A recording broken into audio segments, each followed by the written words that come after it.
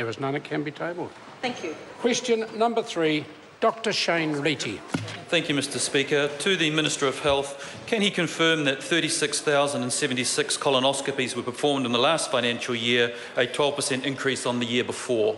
The Honourable Dr Jonathan Coleman. Mr Speaker, yes I can. The number of colonoscopies performed in the 2014-15 financial year rose by 12% from the previous year, up from 32,324 to 36,076. Additionally, the percentage of urgent colonoscopies being performed within the 14-day target increased from 55% in June 2014 to 75% in June 2015.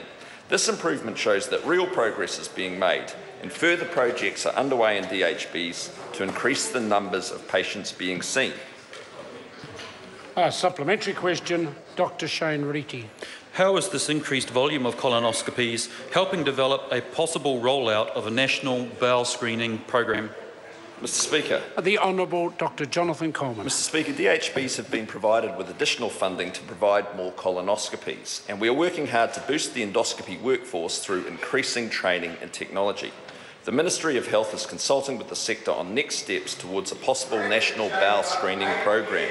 Already, more than 6,000 people have received a colonoscopy through the White Waitemata DHB bowel screening pilot and Budget 2015 invested $12.4 million to extend the pilot to December 2017.